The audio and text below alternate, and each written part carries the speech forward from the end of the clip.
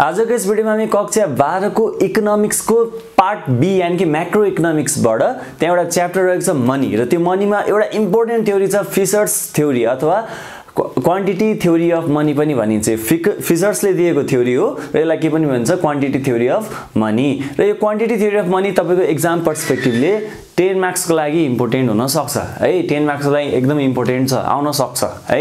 भनेपछि अब आज हामी के गर्छौँ भन्दाखेरि पहिला सुरु यसले के भन्न खोजेको छ? यो फिजर्सले यो यो जुन थ्योरी बनाएको छ यो थ्योरीमा भन्न खोजेको कुरा के हो? त्यो पढ्छौँ हामी। त्यस गरी हामी के पढ्छौँ भन्दाखेरि उसले एउटा फर्मुला दिएका छन् त्यो फर्मुला पढ्छौँ हामी।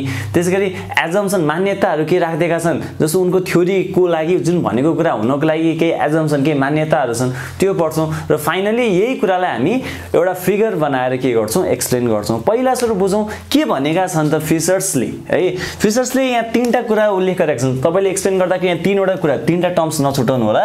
एकातिर छ quantity of money quantity of money र अर्कोतिर एउटा भ्यालु अफ मनी र अर्को प्राइस लेभल पहिला सुरु तपाईँले फिसर्स इक्वेसनलाई बुझ्नुभन्दा अगाडि तपाईँले यो तिनवटा टर्म्सको मिनिङ बुझ्नु पऱ्यो है? जस्तो पहिला सुरु हेर्नुहोस् क्वान्टिटी अफ मनी क्वान्टिटी भनेको मात्रा के? मनीको मात्रा कति छ? बजारमा मनीको मात्रा कति छ? पैसाको मात्रा कति छ भन्नु खोजेको है? अनि त्यसै गरी अर्को के छ? भ्यालु अफ मनी पैसाको भ्यालु कति छ भन्न खोजेको हो कि? जस्तो तपाईँ हेर्नुहोस् न पहिला पहिला सय रुपियाँको भ्यालु धेरै हुन्थ्यो क्या सय रुपियाँले धेरै कुरा आउँथ्यो। बजारमा हामी सय रुपियाँ लिएर किन गयो भने धेरै कुरा आउँथ्यो। तर अहिले के छ? सय रुपियाँको भ्यालु छैन कि? सय रुपियाँले थोरै सामान आउँछ। यानि कि त्यो सय रुपियाँ त सेम हो। होइन? बिस वर्ष अगाडिको सय रुपियाँ र अहिलेको सय रुपियाँ कम्पेयर गर्नुहोस् त कतिको फरक छ? त्यहाँ धेरै लगभग फोर फाइभ टाइम्सकै फरक होला? अझै बढी होला है? भनेपछि तपाईँले के बुझ्नु पऱ्यो भने भ्यालु अफ मनी भनेको पैसाले जुन बोक्ने एउटा भ्यालु छ होइन? त्यो इनर्जी छ त्यो पावर छ पैसाको पर्चेजिङ पावर भनौँ न। पैसाले किन्न सक्ने क्यापासिटी कति छ नि? त्यसलाई नै हामी के भन्छौँ? Value of money purchasing power क्या पर्चेजिङ पावर त्यो पैसाले कतिको किन्न सक्छ? के के किन्न सक्छ? हो त्यो पावरलाई नै हामी के भन्छौँ? भ्यालु अफ मनी भनेर बुझ्छौँ है? त्यसै गरी अर्को छ प्राइस लेभल मूल्य स्तर। बजारमा प्राइस लेभल कस्तो छ? मूल्य स्तर कस्तो छ भन्ने कुरा हो। जस्तो पहिलाको र अहिले कम्पेयर गर्नुहोस् न। पहिला पहिला औसतमा मूल्य स्तर के थियो? अलिक कम थियो भने अहिले मूल्य स्तर हाई छ। यानि कि बजारमा हरेक कुरा जानु हेर्नुहोस् न एउटा मात्रै वस्तु होइन कि लगभग सबै वस्तुमा के छ भाउ बढिरहेको छ प्राइस बढिरहेको छ। यानि कि प्राइस लेभलले चाहिँ के बुझाउँछ मूल्य स्तरलाई बुझाउँछ मूल्य स्तर कस्तो छ? प्राइस लेभल कस्तो छ? बजारमा प्राइसको लेभल कति छ भन्ने कुरा यसले बुझा है अब जाउँ quantity of money quantity of money भनेको चाहिँ मनी कति एभाइलेबल छ? कति मात्रामा छापिएको छ? कति मात्रामा बजारमा एभाइलेबल छ भनेको है। अब यिनीहरूको रिलेसन के भनेका छन् त? फिचर्सले के भनेका छन् भन्दाखेरि जस्तो क्वान्टिटी अफ मनी धेरै भयो भने यानि कि पैसा बजारमा धेरै छापेको छ बजारमा धेरै पैसा भइदियो भने के हुन्छ अरे भन्दा नि जस्तो बजारमा धेरै पैसा भयो सबैसँग पैसा भयो भने के हुन्छ भने प्राइस लेभल बढ्छ अरे। सुन्नुहोस् है क्वान्टिटी अफ मनी पैसाको मात्रा बढ्यो भने बजारमा मूल्य स्तर यानि कि प्राइस लेभल पनि बढ्छ। किन बढ्छ ल हेर्नुहोस्? जस्तो सबैसँग पैसा छ अरे। सबैसँग पहिला दस हजार थियो भने अब सबैसँग एक एक लाख भयो अरे। ल अब यो अवस्थामा के हुन्छ? मान्छेहरूले सबैसँग पैसा छ भने चाहिँ उनीहरूले बढी खर्च गर्न खोज्छन्। त्यो भए चाहिँ के हुन्छ? डिमान्ड बढ्न जान्छ बजारमा। किनभने पैसा छ भने मान्छेले किन्न खोज्छन् कि? किन्न खोजेपछि के हुन्छ? अटोमेटिकली डिमान्ड बढ्छ र डिमान्ड बढ्न साथ तपाईँको के हुन्छ? प्राइस पनि बढ्न थाल्छ है। भनेपछि तपाईँले के बुझ्नु पऱ्यो क्वान्टिटी अफ मनी पैसाको मात्रा बजारमा बढ्यो भने मूल्य प्राइस पनि के हुन्छ? बढ्छ। सबैसँग पैसा भयो भने बजारमा अटोमेटिकली के हुन्छ? मूल्य स्तर बढ्छ। प्राइस बढ्न थाल्छ है? र त्यसै गरी भ्यालु अफ मनी चाहिँ के हुन्छ? घट्न थाल्छ। पैसाको पर्चेसिङ पावर घट्न थाल्छ। जस्तो धेरै पैसा भइदियो सबैसँग पैसा भइदियो भने के हुन्छ? पैसाको भ्यालु घट्छ है? थो अलिकति थोरै मात्रामा पैसा छ बजारमा भने पैसा स्ट्रङ हुन्छ। तर सबैसँग धेरै मात्रामा पैसा छ भने बजारमा धेरै क्वान्टिटीमा मनी एभाइलेबल छ भने पैसाको भ्यालु मनीको भ्यालु के हुन्छ? घट्छ भनेको छ है? त्यसै गरी अब अर्को केस जस्तो पैसा क्वान्टिटी अफ मनी घट्यो। बजारमा पैसाको मात्रा जति थियो एकदम कम भइदियो। कम भइदियो भने के हुन्छ? पैसाको मात्रा थोरै भयो। मान्छेहरूसँग धेरै पैसा हुँदैन। मान्छेहरूसँग धेरै पैसा नभएपछि धेरै किन्न सक्दैन। त्यही हिसाबले के हुन्छ? अब प्राइस महँगीको लेभल के हुन्छ? घट्न थाल्छ। कुन अवस्थामा? जब क्वान्टिटी अफ मनी घट्छ। क्वान्टिटी अफ मनी घट्यो भने प्राइस लेभल पनि घट्छ। र यदि बजारमा पैसाको मात्रा घट्यो भने चाहिँ फेरि त्यो पैसा स्ट्रङ भइदिन्छ क्या बलियो भइदिन्छ। यानि कि त्यो अवस्थामा के हुन्छ? भ्यालु अफ मनी चाहिँ बढ्छ। है भनेपछि यहाँ एउटा हामीले एउटा रिलेसन के पत्ता लगायौँ भने नि यो क्वान्टिटी अफ मनी र भ्यालु अफ मनी के छ भने यिनीहरूको रिलेसन उल्टो छ। जस्तो पैसाको मात्रा बढ्यो भने पैसाको भ्यालु घट्दो रहेछ। पैसाको मात्रा घट्यो भने चाहिँ पैसाको भ्यालु के हुँदो रहेछ? बढ्दो रहेछ। यिनीहरूको रिलेसन उल्टो रहेछ है? त्यसै गरी प्राइस लेभल र क्वान्टिटी अफ मनीको रिलेसन के छ? सुल्टो छ डाइरेक्ट रिलेसन छ कि? जस्तो क्वान्टिटी अफ मनी पैसाको मात्रा बढ्यो भने महँगी लेभल पनि बढ्छ प्राइस लेभल पनि बढ्छ होइन? त्यसै गरी मूल्य स्तर पनि बढ्ने भयो। र अर्को क्वान्टिटी अफ मनी घट्यो भने मूल्य स्तर यानि कि प्राइस लेभल पनि के हुन्छ? घट्छ। यानि कि यिनीहरू दुइटाको सम्बन्ध सुल्टो छ ऊ बढ्दा ऊ पनि बढ्छ ऊ घट्दा ऊ पनि घट्छ। त्यसै गरी यी दुइटा यानि कि भ्यालु अफ मनी र क्वान्टिटी अफ मनीको रिलेसन चाहिँ ठ्याक्कै उल्टो छ इन्भर्स छ यानि कि यो बढ्यो भने यो घट्छ यो घट्यो भने यो बढ्छ। हो यही कुरा चाहिँ फिचर्सले डिफाइन गरेका छन्। अब हामी के गर्छौँ उसले भनेका डिफिनेसनहरू यहाँ हामी पढ्छौँ। अनि त्यसको एजम्सनहरू त्यसको फर्मुला त्यहाँ उसले जुन दिएको फर्मुला छ त्यो फर्मुला पढ्छौँ। र फाइनल्ली एउटा फिगर बनाएर हामी एक्सप्लेन गर्छौँ। अब जुन फिचर्सले एक्ज्याक्टली के कसरी डिफाइन गरेका छन् है? ल हेरौँ। अकर्डिङ टु फिचर फिचरको भनाइअनुसार other things remaining other things being equal यानि कि अन्य कुराहरू यथावत रहेमा सेम रहे कन्सटेन्ट रहेमा अरू कुरामा कुनै चेन्ज आएको छैन है? As quantity of money in a circulation increases यानि कि क्वान्टिटी अफ मनीलाई चाहिँ बढायौँ भने। है?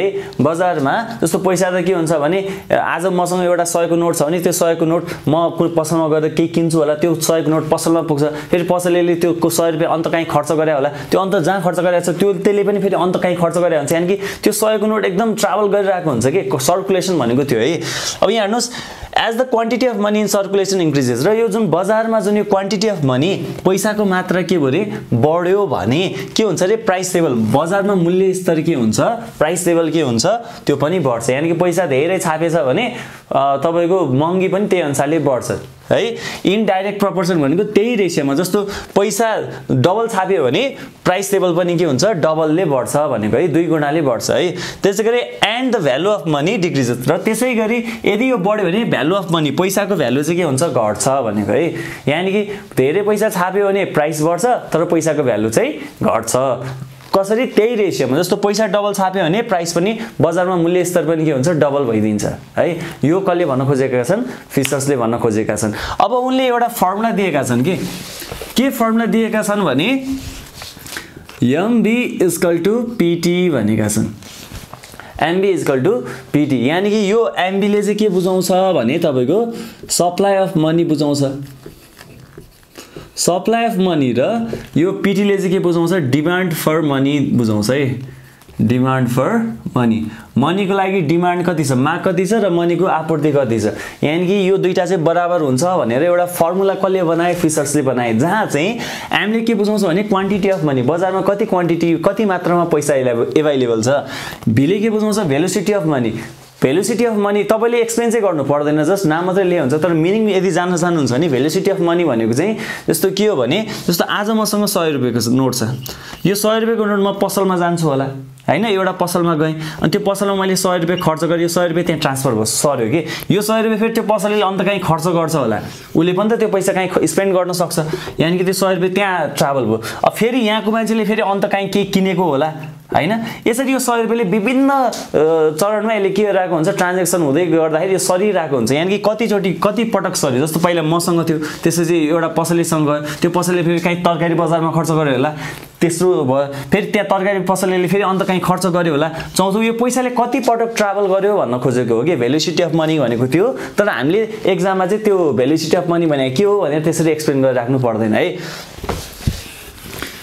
अनि अर्को छ पी भनेको प्राइस लेभल है? प्राइस लेभल बजारमा मूल्य स्तर कस्तो छ?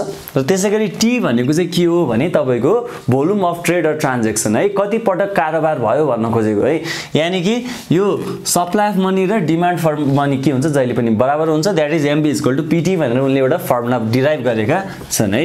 अब तपाईँले के गर्न सक्नुहुन्छ? यसमा वेयर भनेर यिनीहरूको मिनिङ लेखिदिनुहोस्। एम भनेको क्वान्टिटी अफ मनी बी भनेको velocity of money in circulation P भनेको प्राइस लेभल होइन? टी भनेको volume of trade or transaction यसरी यिनीहरूको फुल फर्म पनि लेख्न सक्नुहुन्छ है?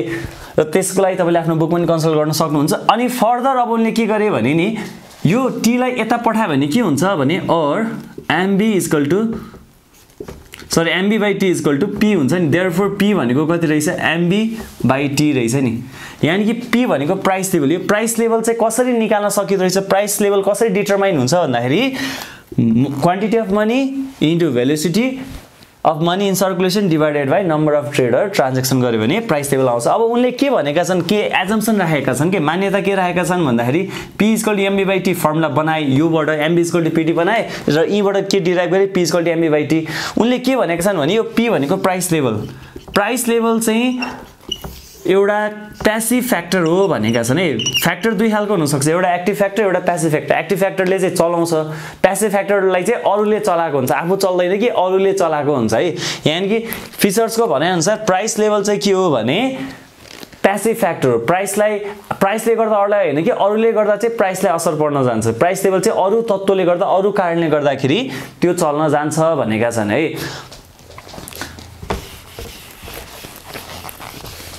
अब हामी के गर्छौँ भने केही एजम्सनहरू केही मान्यताहरू जुन फिचर्सले बताएका छन् त्यो कुराहरू हामी यहाँ देखाउँछौँ एक्सप्लेन गर्छौँ र फाइनली यही कुरालाई हामी के गर्छौँ? फिगरमा बनाएर प्लट गरेर एक्सप्लेन गर्छौँ। अब जो यो थ्योरीको केही एजम्सनहरू मान्यताहरू हामी विभिन्न एजम्सनमध्ये केही चाहिँ यहाँ देखेका छौँ जस्तै हेर्नुहोस् there is no change in T and V यानि कि तपाईँले अगाडि नै के एक्सप्लेन गर्नु पऱ्यो भने टी भनेको जुन अघि हामीले फर्मुला थियो नि एमबी इजकल टु पिटी भनेको थियो नि टी भनेको के हो भन्दाखेरि ट्रेड भोल्युम अफ ट्रेड र ट्रान्जेक्सन कतिपटक कारोबार भयो भन्न खोजेको है एन्ड भी भनेको भेलोसिटी अफ मनी इन सार सर्कुलेसन यानि कि त्यो पैसा कतिचोटि ट्राभल गर्यो मबाट मैले खर्च गरेँ होला म अर्कोलाई दिन्छु त्यो अर्कोले फेरि अर्कोलाई दिन्छ अर्कोले फेरि अर्कोलाई दिन्छ यानि कि त्यो कतिपटक ट्राभल गर्यो भन्न खोजेको है पैसा। यानि कि यो भेलोसिटी अफ मनी र तपाईँको यो जुन भोल्युम अफ ट्रेड र ट्रान्जेक्सन के छ यो चाहिँ कन्सट्यान्ट छ भनेको है। जति थियो त्यति नै छ भनेको एउटा एजम्सन यो। अनि अर्को एजम्सन के राख्दैछ भने money is not use for accumulation accumulation भनेको जम्मा गर्न। होइन जोगाउन यसो सेभिङ गर्नलाई भन्न खोजेको है। मनी चाहिँ थुपार्नको लागि जोगाउनको लागि चाहिँ युज हुँदैन थुपारिँदैन। यो चाहिँ मनी सबै खर्च हुन्छ भन्ने एउटा के राखेको छ एजम्सन छ कहिलेकाहीँ के हुन्छ भने मान्छेले कमाएको हुन्छन् सबै खर्च गर्छन् भन्ने छैन। कतिले जोगाएर राखेको हुनसक्छ यानि कि त्यस्तो हुनु भएन। है। त्यसै गरी अर्को के छ? पी पी भनेको प्राइस लेभल है। जस्तो एमबी इजकल टु पिटी जुन अहिलेको फर्मुला थियो त्यहाँ पी थियो होइन। पी भनेको प्राइस लेभल प्राइस लेभल चाहिँ के हो? प्यासिभ फ्याक्टर हो। यानि कि प्राइस लेभलले चाहिँ अरूलाई डिटरमाइन गर्ने होइन कि अरू कुराले चाहिँ प्राइस लेभललाई डिटरमाइन गर्छ निर्धारण गर्छ। अरू तत्त्वले चाहिँ प्राइस लेभललाई डिटरमाइन गर्छ। यहाँ अरू तत्त्व भनेको चाहिँ यहाँ क्वान्टिटी अफ मनी भन्न खोजेको है। त्यसै गरी अर्को जो money is only the medium of for exchange र यो एक्सचेन्ज छ नि विनिमयको जुन यो मिडियम छ होइन? यो मिडियम भनेको जस्ट कुन मात्रै हो? मनी मात्रै हो। पैसाबाट मात्रै कारोबार हुन्छ। पहिला पहिला बाटर सिस्टम हुन्थ्यो अरे कि? जस्तो पैसाको चलन थिएन भने जस्तो मसँग चामल छ अर्को कोहीसँग मकै होला। मलाई मकै चाहिएको छ त्यो मकै भएको मान्छेलाई चामल लागेको छ भने हामी के गर्छौँ? साटासाट गर्छौँ। यस्तो सिस्टम थियो पहिला जब मुद्राको चलन थिएन जब पैसाको चलन थिएन। अनि त्यो सिस्टमलाई हामी के भन्थ्यो? बाटर सिस्टम स्टिल गाउँघरतिर गयो भने यो चलन स्टिल पनि छ होइन? कोहीसँग आलु आलु हुन्छ कोहीसँग धान हुन्छ भने उनीहरूले एक्सचेन्ज गरेर आएका हुन्छन् है? र त्यो त्यस्तो बाटर सिस्टम चाहिँ एक्जिस्ट गर्नु भएन। यानि कि यहाँ एक्सचेन्जको लागि के मात्र युज हुन्छ मनी मात्र युज हुन्छ भन्ने एउटा एजम्सन राखियो ठिक छ? तपाईँले एजम्सन राखेर जुन अहिले हामीले भनेको फर्मुलाहरू थियो हो त्यसलाई एक्सप्लेन गर्न सक्नुहुन्छ होइन? अब फिचर्सले के भने भन्दाखेरि म फेरि एकचोटि रिकल गर्छु यतापट्टि क्वान्टिटी अफ मनी मनी बढ्यो भने डबल भयो भने यता प्राइस लेभल पनि के हुन्छ? डबल हुन्छ है? अनि फेरि मनी डबल भएको छ भने त्यो पैसाको भ्यालु छैन। भ्यालु चाहिँ के हुन्छ? फेरि भ्यालु अफ मनी चाहिँ के हुन्छ? घट्छ भनेको भ्यालु अफ मनी चाहिँ फेरि घट्छ। यो कुरा भनेको छन् है पैसाको मात्रा बढ्यो क्वान्टिटी अफ मनी बढ्यो भने महँगी लेभल यानि कि त्यो प्राइस लेभल छैन मूल्य स्तर बजारको हामी जुन मूल्य स्तर भन्छ नि त्यो मूल्य स्तर पनि बढ्छ होइन? त्यसै गरी यो क्वान्टिटी बढ्यो भने पैसाको क्वान्टिटी बढ्यो भने पैसाको भ्यालु चाहिँ घट्छ कि? यानि कि भ्यालु अफ मनी के हुन्छ? घट्छ उल्टो रिलेसन रहेछ है? हो अब यही कुरा जुन फिचर्सले भनेका छन् हामी एउटा फिगर बनाएर पनि एक्सप्लेन गर्छौँ। अब फिगर बनाउँदाखेरि तपाईँले के गर्नु पर्यो भने जस्तो यहाँ हेर्नुहोस् दुईवटा सँगसँगै बनाउनुहोस्। यो एक्स एक्सिस हो। यो वाइ एक्सिस हो होइन? अब यो एक्स एक्सिसले चाहिँ के बुझाउँछ भने क्वान्टिटी अफ मनी बुझाउँछ है? के बुझाउँछ? Quantity of money quantity of money यसले के बुझायो? क्वान्टिटी अफ मनी यो ओ ओरिजिन भयो ठिक छ? अब लेट से पहिला सुरु के भयो भने जस्तो यतापट्टि चाहिँ हामी के राखौँ भने प्राइस लेभल राखौँ। र यतापट्टि के राखौँ भ्यालु अफ मनी हामीले यहाँ देखाउन खोजेको चाहिँ के हो भने क्वान्टिटी अफ मनीमा चेन्ज आउँदाखेरि प्राइस लेभलमा कस्तो चेन्ज आउँछ मूल्य स्तरमा कस्तो चेन्ज आउँछ र भ्यालु अफ मनीमा कस्तो चेन्ज आउँछ भनेर देखाउँछ है। जस्तो उदाहरणको लागि पहिला सुरु हामी के गरौँ भने जस्तो पैसा क्वान्टिटी अफ मनी कति सँगै एउटै लाइनमा राख्नुहोस्। सँगै स्केलले के गर्नुहोस् भने जस्तो ओएम वान थियो। क्वान्टिटी अफ मनी कति थियो? ओएम वान थियो ठिक छ?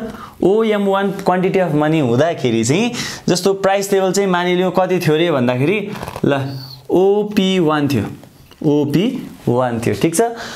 पहिला सुरु के थियो? ओएम वान एउटा बजारमा त्यति पैसा थियो होइन? यति जति क्वान्टिटी अफ मनी थियो भने बजारमा मूल्य स्तर कति थियो? ओपी वान रहेछ ठिकै छ? त्यसै गरी भ्यालु अफ मनी चाहिँ के थियो? अलिक धेरै थियो। यसलाई मैले ल भी वान लेखेँ ठिक छ? भ्यालु अफ मनी चाहिँ यति थियो। है अब हामी के गरौँ भने नि क्वान्टिटी अफ मनीलाई बढाउँ। बजारमा पैसा धेरै सप्लाई गरिदिउँ कि? क्वान्टिटी अफ मनीलाई के गरौँ? बढाउँ। पैसा धेरै छाप्यो भने के हुन्छ त? भन्दाखेरि जस्तो ल ठ्याक्कै डबल गरिदिउँ यो जति थियो ठ्याक्कै यति नै गरिदिउँ।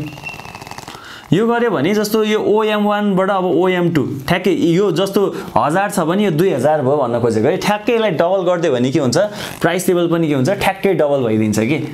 है यानि कि यो ओपी टू यानि कि अघि हामीले के भनेको थियौँ क्वान्टिटी अफ मनी बढ्यो भने प्राइस लेभल पनि के हुन्छ बढ्छ। यानि कि ओएम वानबाट ओएम टू हुँदाखेरि जस्तो योबाट यति बढ्दाखेरि प्राइस लेभल पनि बढ्यो भन्नु खोजेको। क्वान्टिटी अफ मनी पनि बढ्यो अनि तपाईँको के पनि बढ्यो प्राइस लेभल पनि बढ्यो। ल अझै बढौँ यो जति ओएम टूको डिस्टेन्स छ जति छ यसको भ्यालु यति नैले बढ्यो। ल मानिलियो ओएम थ्री भयो। मानिलियो ओएम थ्री भयोले होइन? अब ओएम थ्री भयो भने यो जतिले बढाएको छ प्राइस पनि के हुन्छ? त्यतिले नै बढ्छ। त्यति जस्तो फिफ्टी पर्सेन्टले बढ्यो त्यो फिफ्टी पर्सेन्टले बढ्छ। यो हन्ड्रेड पर्सेन्टले बढ्यो त्यो पनि हन्ड्रेड पर्सेन्टले बढ्छ। यो जति क्वान्टिटी अफ मनी जति रेसियोले बढ्छ त्यही प्रपोर्सनमा प्राइस लेभल पनि त्यही अनुसारले त्यही अनुपातले बढ्छ भन्छ है। भनेपछि अब प्राइस लेभल पनि बढ्यो ल ओपी थ्री अब तपाईँले यसलाई ड्र गर्नुभयो भने यो फोर्टी फाइभ डिग्रीमा एउटा सिधा लाइन बन्छ कि? ठिक छ? यो के हुन्छ? एउटा सिधा लाइन बन्छ। भनेको यो लाइनले चाहिँ के बुझायो भने प्राइस लेभल बुझाइरहेको छ। है? क्वान्टिटी अफ मनी चेन्ज हुँदाखेरि प्राइस लेभललाई बुझाइरहेको छ। त्यसै गरी अब यतापट्टि जाउँ ल। पहिला चाहिँ हामीले के गर्यौँ यति ओएम वान मनी हुँदाखेरि पैसाको भ्यालु धेरै थियो। अब के भयो भन्दाखेरि पैसा छाप्यो कि? डबल गरिदियो। जस्तो ओएम वानबाट ओएम टू ल ओएम टू अब पैसा धेरै सप्लाई भइदियो बजारमा। अब के हुन्छ भ्यालु त घट्छ। पैसा धेरै भएपछि बजारमा धेरै भयो भने पैसाको भ्यालु घट्छ कि? भनेपछि क्वान्टिटी अफ मनी बढाउँदाखेरि पैसाको भ्यालु त घट्ने भयो। अब कसरी घट्छ? त्यही अनुपातले घट्छ जस्तो यहाँ हेर्नुहोस् त। यो डबल भयो भने यो पनि डबलले नै घट्छ। यानि कि? अब जस्तो यसको डबल यहाँ होला सपोज ठिक छ? यसरी घट्ने भयो। अब अर्को केस हामीले के गरेको थियौँ भन्दाखेरि पैसा अब जस्तो ओएम टूको पनि डबलले बढाइदिउँ न। जस्तो ओएम टू थियो ओएम वान ओएम टू अब ओएम टूको डबलले बढाइदिउँ ल। जस्तो यसको सिधा कति छ? एम थ्री राखौँ। ल अब एम थ्री पुग्यो।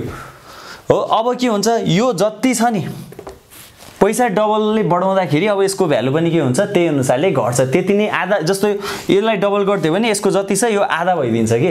यानि कि यस्तो भइदियो। यता क्वान्टिटी अफ मनी बढाउँदाखेरि प्राइस लेभल चाहिँ बढ्यो। तर यतापट्टि क्वान्टिटी अफ मनी बढाउँदाखेरि चाहिँ भ्यालु अफ मनी चाहिँ त्यही रेसियोले घट्यो। जस्तो यसलाई डबल गऱ्यो यो डबलले नै घट्छ। ठिक छ? ल अब हामीले के गरौँ? यसलाई जोइन गरौँ। ठिक छ? यो लाइनले यो यो कर्भले के बुझाइरहेको छ भन्दाखेरि तपाईँको भ्यालु अफ मनीलाई बुझाइरहेको छ। हो अब यही कुरा तपाईँले आफ्नो यो फिगर बनाइसके पछाडि तल यसो प्याराग्राफमा यही कुराहरू तपाईँले एक्सप्लेन गर्न सक्नुहुन्छ।